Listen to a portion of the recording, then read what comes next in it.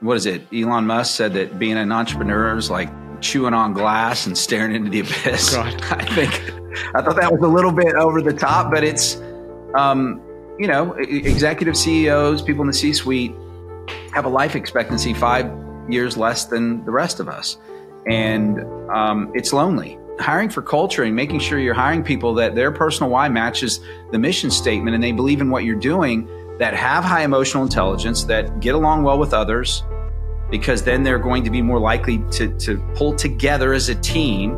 And so when you think about as an executive, the stress, the anxiety, nobody is an executive who's like not, um, you know, not highly strong or, or an alpha, you know, thinks they're right, thinks they have the best idea. And so surrounding yourself with people that believe in what you're doing and have high emotional intelligence that you can you can get support from, um, and and then making the process less transactional gives you the best opportunity to be successful, to be in the 30% of companies that succeed over 10 years than one of the many failures.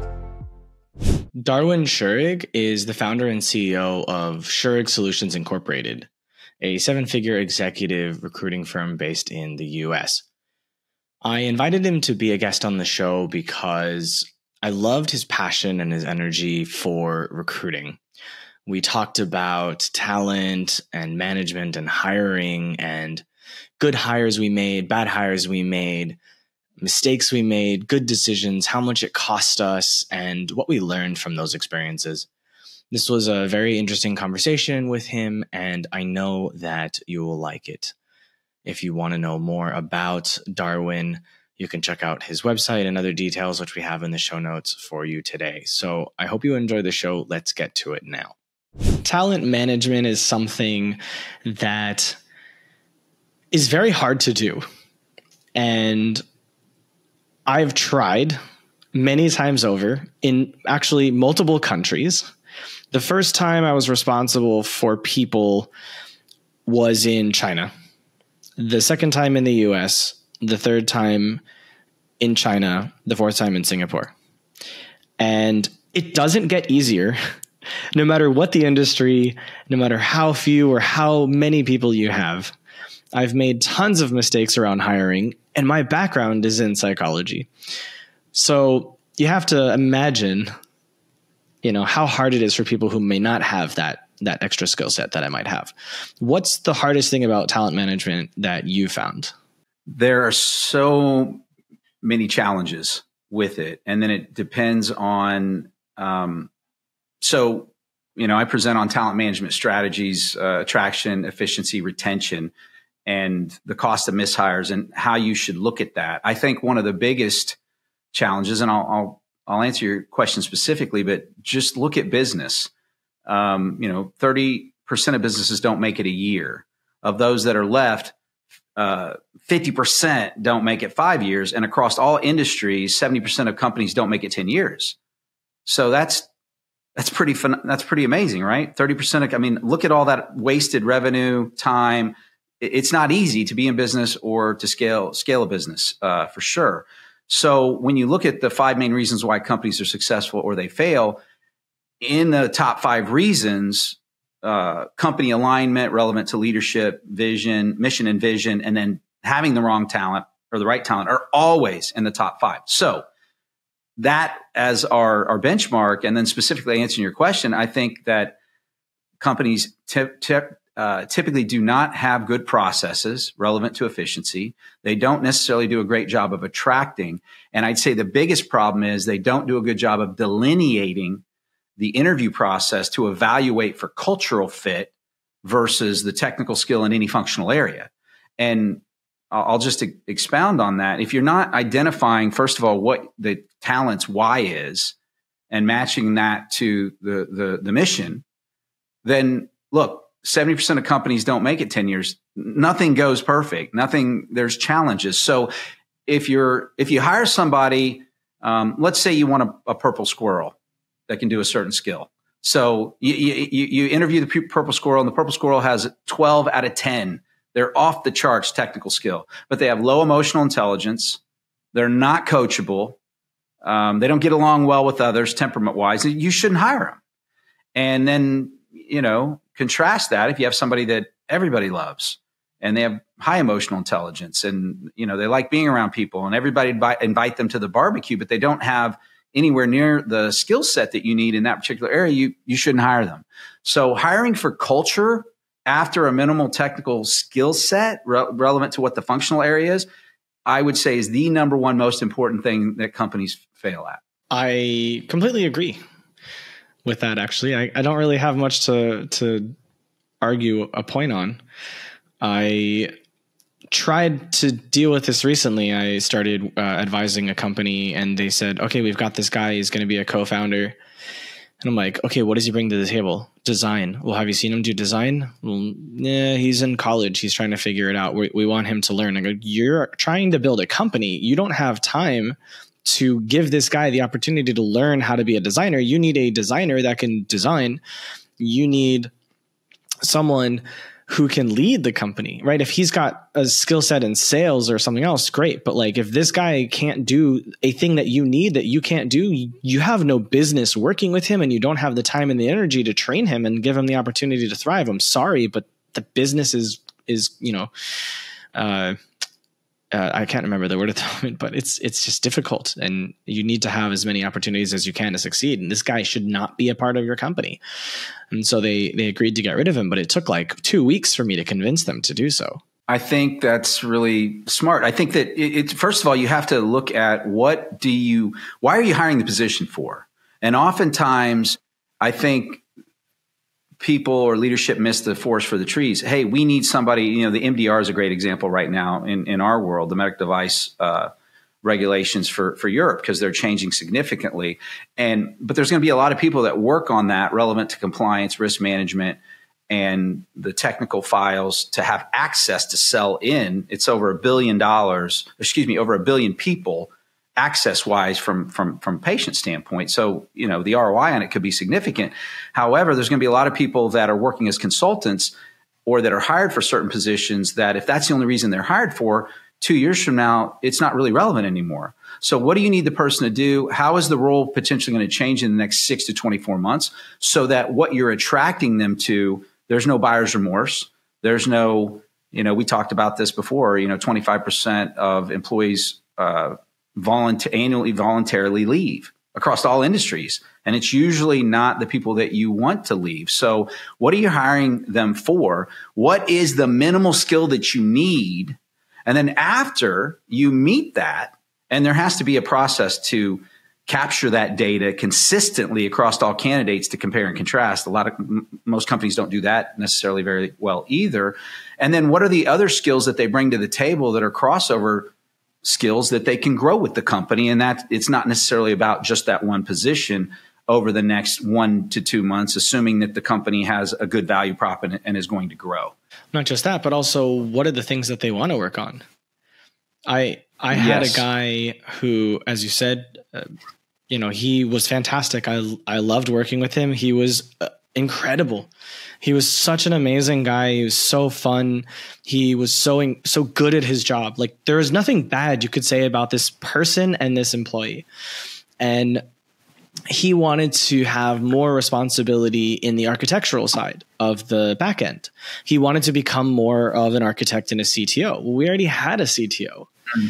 And we right. we did our best to give him as many opportunities as he could to get into the architecture more, but we couldn't pay him what he wanted to earn.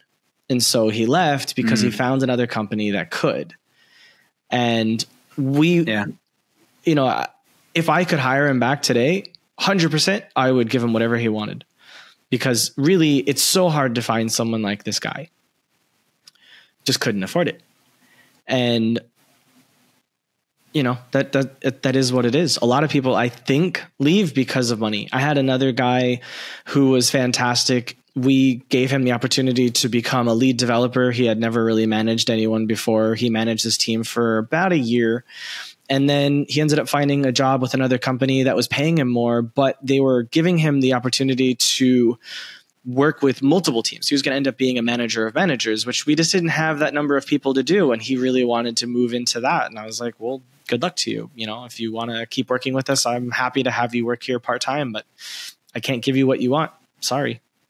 And what you just cited is really, really important and and smart to understand in terms of again, like why are you hiring for a position and what are the needs and how's the company going to grow? Uh, I talk to candidates. What's your opportunity for growth? Is it vertical only? Does the hiring manager have to leave? Does the company have to have a, a significant growth spurt so that department grows? Um, or you, you get it promoted into a different segment within your functional area? Or is the company open to crossover talent so that you can grow horizontally and then vertically because you have other skill sets. You know, maybe you're in design and development, but you have great program management skills. So you could then move over to be a part of the company's PMO because it's going to start a PMO, right, at the company as an example. But in terms of what you just talked about, again, 25% of employees leave annually voluntarily. And so the cost to a company for that is anywhere from half of the annual salary to four times. That's a significant cost in wasted resources, training, and then trying to backfill those positions. Now, you know, there's leadership IQ, career builder. We look at a lot of different data in terms of what the challenges are around talent management. But um, uh, Career Builder had a study showing that 79% of voluntary turnover cited lack of employee, of employee appreciation as a number one reason or the immediate hiring manager. So, in terms of annual employee appreciation, career ladders, I think that's that's something to really look at. The other thing is that it showed that 70% of high risk employees are being recruited away that they stated that they would most likely have to leave their company to, to be able to grow their career in advance. And so understanding what the pathway is and it not just be siloed. Companies that are more open to talent and understand that people have different skill sets. I always say when somebody's talking to me about an opportunity, look, the money's obviously part of it. It's not; these aren't volunteer positions. Uh, compensation, how it benefits your family, is certainly important. Culture is huge. The why match to the vision. But who are you going to become by going there? What skills are you going to add? How are you going to be challenged? And how are you going to be able to grow personally and professionally over the next you know 12 to 24 months by taking that role. And i think you know you just spoke to that quite a bit. Obviously compensation was part of it but the person wasn't going to get to do what they wanted to do and what would be exciting for them. Yeah so they were both with us for a year and a half maybe two years max. So i always knew that we weren't growing fast enough for a lot of them and that's okay. You know I, the way i look at it is we're a stepping stone in their career so, what can I mm, do to yeah. give you as much opportunity as you can so you can get the experience you need so that whenever you go on to the next thing, you know, you can say you have that experience. And so, for example, some of the people we hired for that opportunity, right? Some of the people we had hired originally, we hired them to be Android developers. And when we pivoted to, um, you know, doing a web application, we needed to use a different coding language that none of them had any experience with. And we tried to hire a team to do web and we couldn't so we ended up being forced to basically convert our team from mobile developers to web developers and we had to upskill them. We could pay them their original salaries, but it took a lot longer to get everything done because they were literally learning how to do what they needed to do. And so that was really frustrating mm-hmm. as well because they also were used to working with, you know, a, a mobile screen versus browser screens you know so the resolutions are different. It's a wide angle or it's a sorry landscape versus vertical. You know so all the ui the ux is different. Some of the apis and libraries are different. So there's a lot of things that they needed to learn how to do. And so it just took us a lot more time and took a lot more energy than if we were able to just hire people. Um, we were actually able to find two mm. guys that had angular experience. One of them was not a great person and we ended up firing him. Um, we could talk about uh, employee failures and all that um, in a little bit here. So I had to fire him, and then the guy that hires, huh? they're fun. Oh yeah, I I tried so hard not to have to fire people, but at some point it just happens. Um, but we, I mean, I guess we can get into that now since you brought it up. What's what is an example of a, a really bad hire you had, and, and how, how quickly did you realize that it was a bad hire? But then how long did it take for you to actually fire them? Well, fortunately or unfortunately, unfortunately, it, on the face initially, but you know, we learn more from our mistakes, right, than our successes. And so I've made bad hires in, in corporate America and um, I've made bad hires in my business. And so I think that it is, first of all, it is goes back to what we talked about earlier in terms of having having processes to evaluate the functional area that you want you want to evaluate, for example, and then compare and contrast. Um, I didn't do that very well in corporate America, and, and for initially with my own company, I, I, we did not have processes to do that very well. We learned the hard way, and then you know the cultural fit. But I would say the biggest problem is that is is waiting too long and not making decisions um, sooner because typically if some if things are not working out, the, the employee already knows it. It's just a matter of how long is it going to take? How much pain are you going to allow the situation to continue to fester um, before making the decision that a move needs to be made? But at the point that you know, if you and if you take a servant leadership approach and a, and a, a, Zapp empowerment approach, I was it's making me think about like the first person I had to let go in my corporate career. I almost hyperventilated. If the COO wasn't there with me to do it, I, I don't know. They'd probably still be in the company today because I was so anxious about it.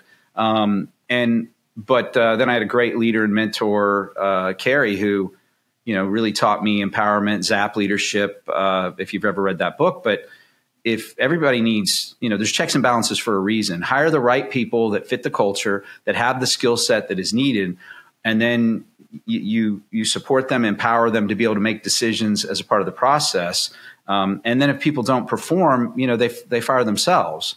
But if you're giving them all the resources, if you if you hire the right people and they're excited, again, the why, the mission, and and what they're doing is something they want to do if they feel empowered and that they can make decisions and it, you know mistakes happen they're not going to get whacked then it's an environment for growth. And then if they're not doing what they need to be doing then over a period of time they they they essentially let themselves go. And and there's probably a better place for them. there's a place that's much better for them versus where they're at with your company in that situation. And so having that mindset is i think a lot more productive so you'd say the, the the worst one is the first person ever. Um, as far as like the worst hires that I've made fi- or been a part of. Yeah, the one that you had to fire. Well, I didn't hire that person. I just that was the first person I had to let go, and I, I was I'm just saying I was so I, I was in my early 30s, and I'd never had to let anybody go, and if if the if the COO wasn't there, like I said, jokingly, they'd probably still be there, but um, in terms of you know the one of the worst hires I ever made was somebody that I thought had a certain amount of skill. They sold themselves a certain way. I didn't have a process to evaluate that. I didn't dive deep enough into evaluation of outcomes. And I didn't have a process or an understanding of hiring for culture. And I hired somebody that um, that was a cancer you know, they thought they knew everything. They weren't open to other perspectives. They were not coachable. And even though they had several of the skills, uh, it was just was not a good good fit, and it was caused a lot of problems in chemistry and with the team. And when you hire people like that, everybody else is watching. How much do you put up with, as as it, it corrodes your your culture and it creates lower employee engagement, which therefore almost always leads to more wasted resources. So, getting the right skill with the right culture, emotional intelligence, temperament, motivation, um, and that they're coachable. I think those those things are critical. Hey, just give me 10 seconds of your time. I really appreciate you listening to the episode so far, and I hope you're loving it. And if you are, I would love to ask you to subscribe to the channel because what we do is a lot of work. And every week we bring you a new guest and a new story. And what we do requires so much love so that we can bring you something amazing. And every week we're trying really hard to get better guests that have better stories and improve our ability to tell their stories. So your subscription lets the algorithm know that what we're doing is fantastic. And no commitment, it's free to do. And if you don't like what we're doing later on, you can always unsubscribe. And either way, we would love a like if you don't feel like subscribing at this time. Thank you very much, and we'll take you back to the show now. So one of the first companies I was responsible for the people of was my dad's dental office. And some people listening might go, ah, it's not a business. Yes, it's a business. It's it was a significant business and there was like 15 full-time employees. So with that out of the way, because that was one of the problems I had. I was going to say, they somebody said that wasn't a business. I mean, yeah, absolutely. That's a business. Yeah. I was 25, 26 and I came in as the HR manager, general manager. And I got a lot of problems from the employees who some of them had been there for 10 years and they were twice my age. And they didn't like that I was coming in and telling them how to use their software. I spent two weeks, I mastered the software. They had no idea about probably 10%, uh, they, they probably didn't even know 10% of what I knew in the two weeks I had sat there in front of the software and I figured out ways to make the business more efficient and ended up saving the business an extra like uh, six weeks for every time they had to submit a claim for the insurance. So significant. So it went from 60 days to six or seven days from when you'd submit a claim to when you'd get the money back. That's massive for a business to have that cash flow. They didn't oh, have absolutely. they didn't understand any of this. Anyways, I got a lot of problems from them because I was the boss's son. And I'm like, I might be the boss's son, but I know what I'm doing. And if you don't want to listen to what I have to say, sorry, but I gotta fire you. I need people that'll listen. Mm-hmm. So I ended up firing almost right. his entire team, but not all at once. Because I couldn't handle because every time you fire someone, I had to take over their position until we could replace them. Right. Then you get to work harder. right. So there sure. were a few people working up front. There, I mean, obviously there were people like that were technically skilled who were doing, um, you know, actual dental work, hygiene and all that. I can't, I, am not, I can't do those things, but all the front office stuff I had to mm-hmm. replace people. So we had to figure out how to do it in the right way. And like my my dad had this woman up front who was very sweet, very kind. She'd been with him for a long time. Everyone knew who she was but she sucked at telling people how much they owed and collecting money from them. right. Sorry. Which was probably one of her primary responsibilities. That was her main responsibility, besides so, dealing yeah. with the insurance companies, filing claims, making sure that their insurance was valid, you know, setting up appointments, rescheduling, canceling these, you know, front desk person. Mm. The most important part right. of her job, she couldn't even, I had to fire her. Sweet woman, had to fire her my dad didn't have a process for like identifying who's culturally valuable. Yeah. He was too busy trying to be the dentist. Sure. And he couldn't be the business owner. And so he he tried to leave it to me, but sometimes there were things that like I needed his approval for, which prevented me from making all of the changes that needed to be made. And so his personality prevented us from from improving in a significant way. So eventually I had to fire myself because well, I was like, look, I, I can't do my job. Like I've done everything I can to help you, but at some point I've done my job. There's nothing more I can do. If anything, you should just sell your business and work for somebody else. Because as yeah. long as you run this business and you don't have a partner that you trust to make all of the hard decisions, you do not deserve to have a business. Sorry, I love you, but no. Well, and uh, look, many clinicians, physicians, dentists, may be great at what they do, but they're not good at business. Um, they don't understand, you know, certain business principles, and and it's not, and, and it, as we just discussed, it's not easy to be in in business, and having that process to uh, identify the right talent is is not easy either. And uh, you know, one of the things that we we help our there's three things in industry we do that, uh, as far as I can tell, nobody else is is doing at this point over over this year. It's, three three years to get to that point in, in process. But one of them is delineating uh, between cultural fit and that that uh, functional area. But if you just look at culture, defining it, it's not super hard, but it, you know it's not easy, and there's there's nuances to it, and you got to invest a little time in it. But you got to determine what your values are first and foremost. Um, you know, what what matters to you from a value standpoint, and then you have to create four to six questions relevant to culture that define those values with how people are asked, and then you have to ask the questions in a very specific way. And it's crazy because people will tell you it, will it, be it's just unbelievable. I've seen it happen multiple times. Um, and I, we have one uh, partner that you know they've grown by acquisition and they're going to keep growing. They've gone from 40 million to 100 million in the last two and a half years um, in surgical orthopedic products. And it's like uh, the VPs telling me I've got people that through the acquisition, and it's like they're not happy because they're having to work a little bit harder. and We're going to grow. Why can't we just stay here?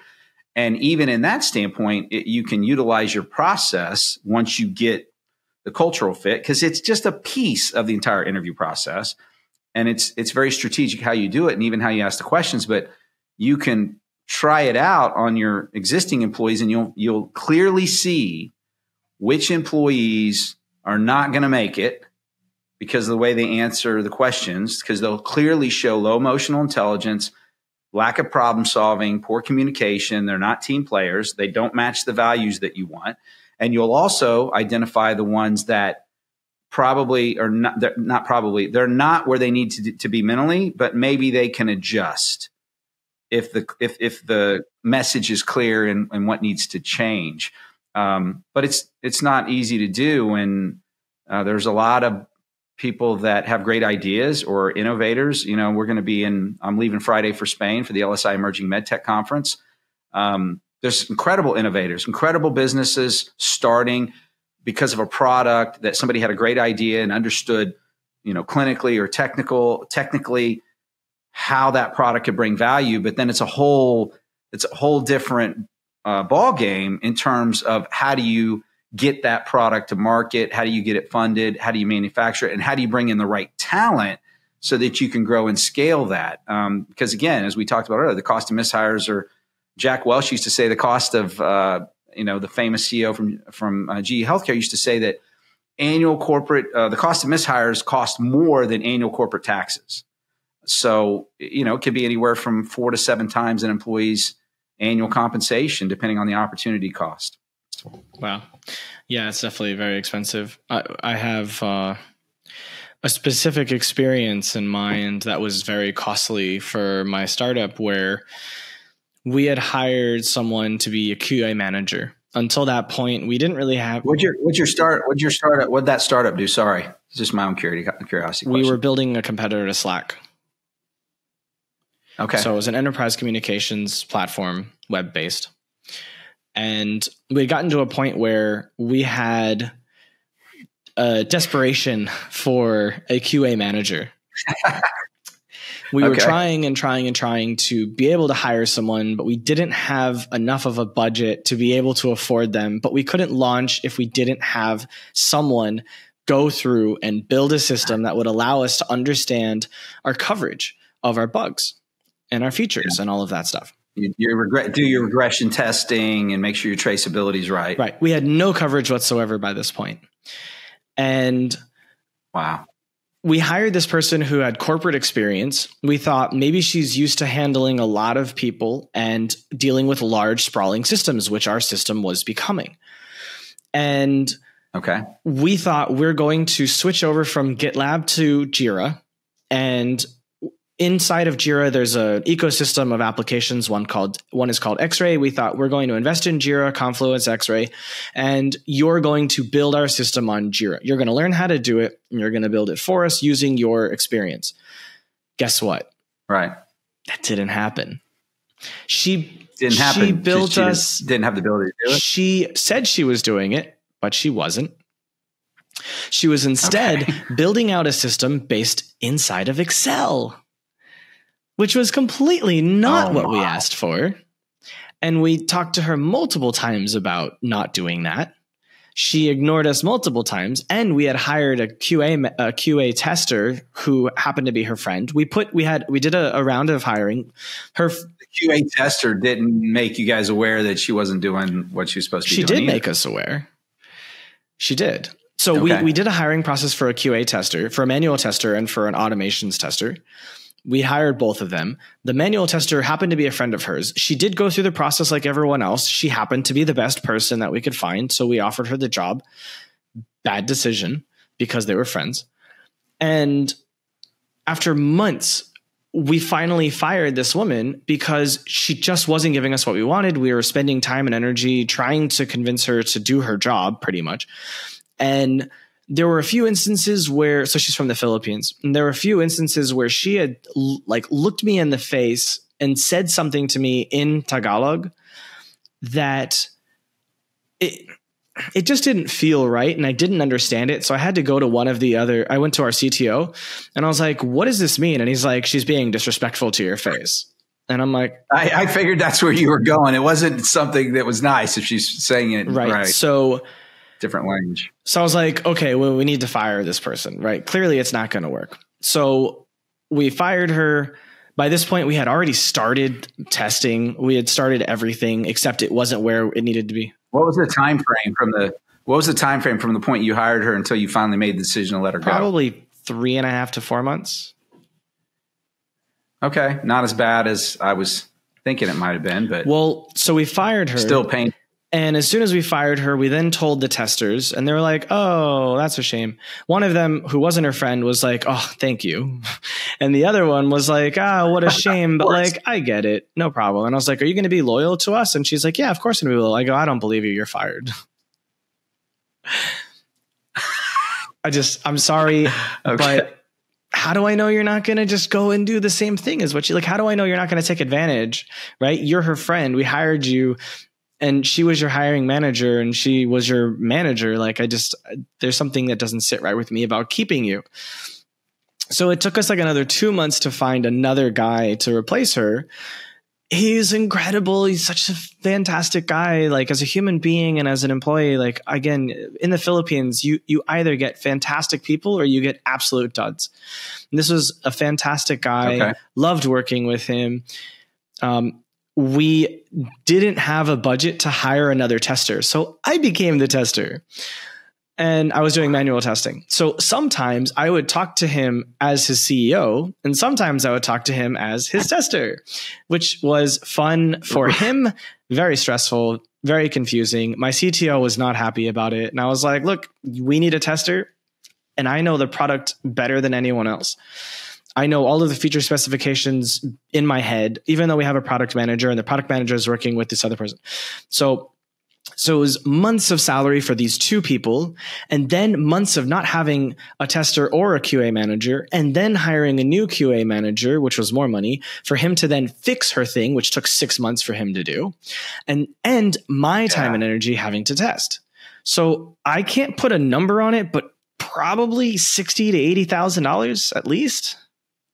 So, so, so you just proved several points that we've talked about before because companies look at this all the time, every single day. Uh, well, we this is what's in our budget. This is what we we you know we believe we can spend. We can't afford this. No, actually, the fact of the matter is is you can't afford not to spend it and do it right up front because in our world, and it doesn't matter. We can talk about clinical trials uh, almost 20% of stage three clinical trials fail, and 70% of the failures come back to clinical efficacy, which all comes back to poor leadership, uh, the wrong talent, cutting corners, not interpreting FDA direction correctly mm. or protocol design.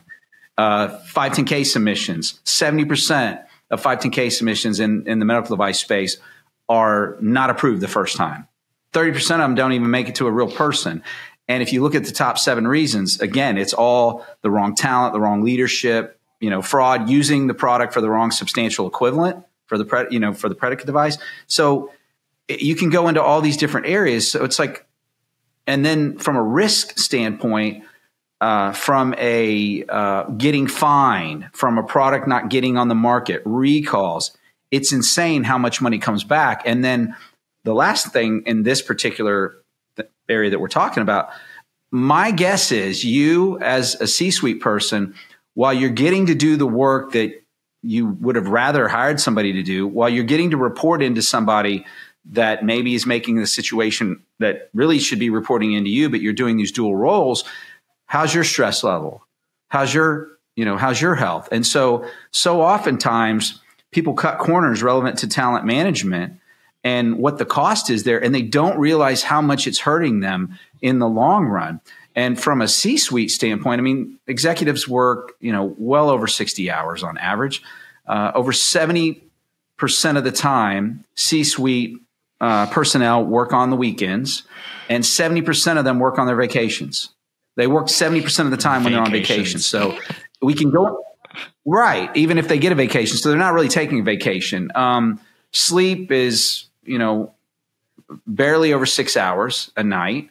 And then there's all this data in terms of health on um, you know 30% of c-suite executives reporting issues with fatigue and, and mental mm-hmm. health mm-hmm. um, stanford uh, school of business did a did a study and it's like seven fortune 500 uh, or, or, fortune 250 uh, ceos or c, uh, c-level executives die of unexpected heart attacks every single mm-hmm. year they're 35% more likely to have car- cardiovascular issues they're almost 20% more likely to have um, high cholesterol um, or high blood pressure. So, and here's the thing when you hire wrong, because you do it transactionally, you don't put the time and the effort into it, and you don't really understand or make uh, make the effort to determine make culture a priority as well as that skill set, and then things go wrong, which costs you money hurts you in terms of opportunity cost because it takes you longer to get whatever it is you're trying to do to market. Does that improve the C suite's health and their anxiety and their ability to sleep? Of course you know, not. I've recently interviewed several people about anxiety and panic attacks. And uh, yeah, mm. it's not fun. I can definitely say most of my suffering started with my last startup. And even though the startup is gone, I still feel it.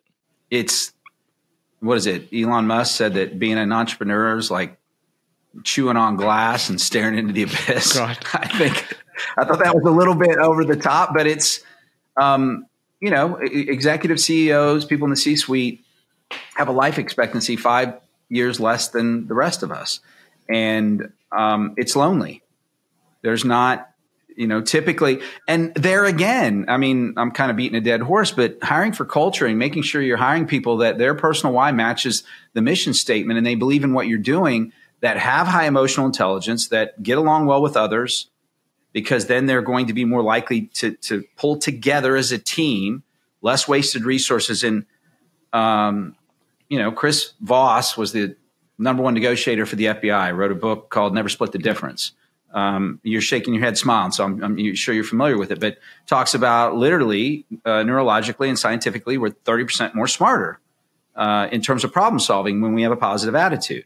And so when you think about as an executive, the stress, the anxiety, nobody is an executive who's like not, um, you know, not highly strong or, or, or an alpha, you know, thinks they're right, thinks they have the best idea. And so surrounding yourself with people that believe in what you're doing and have high emotional intelligence that you can, you can get support from, um, and, and then making the process less transactional gives you the best opportunity to be successful, to be in the 30% of companies that succeed over 10 years than one of the many failures. I'd have to say I've learned that I am often not the person with the best ideas. and that's fine because that's what you pay for. Uh, right. And it's in the right culture. I mean, thank goodness I'm not the same person I was 20 years ago. And thank goodness I'm not the same person I was you know, five years ago or two years ago.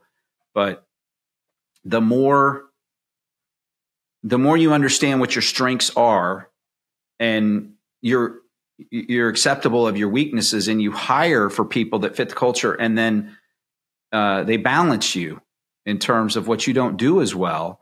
Um, another book I was thinking about when you were talking about earlier is uh, about when you were talking about your dad, which at least your dad, you got great white teeth. I mean, your teeth look good. So, you know, he, he, he took care of you there, right? Um, but there's a book called From Six to Seven Figures. And in starting, you know, my company, I'd never owned a business before and I'd never really didn't know anything about recruiting other than the transactions of trying to hire people and then recruiters reaching out to me. But I really didn't understand the industry or a lot about it. So the first years just trying to figure things out, stay in business, figure out what my value prop is going to be, what differentiates. um, definitely those first two years, and then then you know the first four years really getting good at, at at blocking and tackling and what those things look like. But the book from six figures to seven, everything that why you make it that first year and that first five years versus all the companies that don't make it. If you want to scale or grow, those are the same things that will keep you from being able to do that successfully because you can't do everything yourself. You can't just rely on yourself. You can't be the person that has all the best, you know, ideas. You've got to surround yourself with people that um, complement your strengths and help cover up your weaknesses. And so, again, coming back to what are those skill sets and do they match the culture so that you can trust them and that uh, you're going to be more likely to give up responsibilities that you used to do that you really shouldn't be doing any longer. Yeah, I, I haven't read that book, but I work with people that are generally grossing six figures. So like that's my audience. Right? These are people that want to get into the seven figure range. And that's why I interview people right. that are doing seven plus because there's this inspirational slash educational opportunity for the audience to be like, oh, this is someone who's doing it bigger than me. They've already got a team. They've already yeah. figured some of that stuff out. What can I learn from them? And um, the biggest that's awesome. One of the the biggest aspects of my program is you need a team. And the mm. reason why you don't have a team is because you don't understand how to build a team. You don't understand the psychology of how do you find them? How do you attract them? How do you identify the right yep. ones? How do you, you know, hire the right ones of the ones that come to you? How do you create a pipeline for them? How do you give them the right kind of a contract? How do you onboard them and train them and instill your culture in them? There's so much that goes into it that people don't know. And so oftentimes they'll just stay at six figures because they're like, eh, it makes me more than I would if I had a job. So, like, this is all that I need. It's like, yeah, but you're doing everything. Yes. So it's not sustainable. Generally not. It, it, I think it depends on, it certainly depends on what the industry is or what their service or skill set is. And there's, there's, there, there are multiple business owners in the world of recruiting that once they learn it and they get to a certain point, they choose to have, um, you know, a, a lifestyle business because you can, you can run the business from anywhere, phone and internet, and they don't really want to have employees. They stay two, three people, and they can do you know anywhere from half a million to you know 1.2 million is is probably a, a reasonable mm-hmm. range for somebody that's really good and that's been doing it for let's say you know six to ten years plus right um, a lot of you know 80% of people that go into the industry don't don't make it a year and then the statistics for recruitment firms that don't make it within a businesses is even you know seeing a higher failure rate mm-hmm. so it depends on what they're doing, but you're absolutely right. Because what happens if there's an economic downturn? What happens if you haven't updated your technology, your quality management system? You know, digital optimization. You and I were talking about that uh, earlier before we we went live. It is impacting AI and digital optimization for efficiencies is the number one thing uh, on CFOs uh, in hospital systems on their mind because some of these hospitals have over 60 different systems that they're they're utilizing. It's it's not efficient. Um, it's being used in uh, clinical trials, uh, digital twins. It's everywhere. Uh, Master Control did a uh, pretty extensive study and surveyed uh, executives over manufacturing facilities, and 56% of them still had critical uh, processes in manufacturing that were being done by pen and paper. And so 90 plus percent of them were saying within the next 24 months, we have to invest in digital optimization to increase efficiency, lower risk, you know, our risk, as well as get product out quicker. So um, if you are a, a, a small business owner and you, what happens when technology changes? What happens if you have a health issue? There's there's a lot of things obviously that can can can change. Look at the pandemic. Uh, how many businesses went out of uh, how many companies went out of business because of that. So I think you're absolutely spot on with that.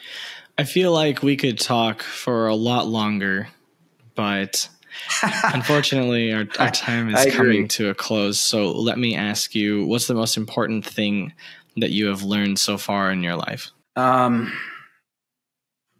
I would say the most important thing is really just understanding understanding who you are, what's important to you, what your personal why is.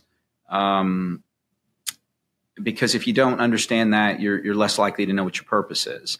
And so, understanding your your purpose and that every if you understand your, your, your purpose and where you get your value from clearly, then I think you're better for other people.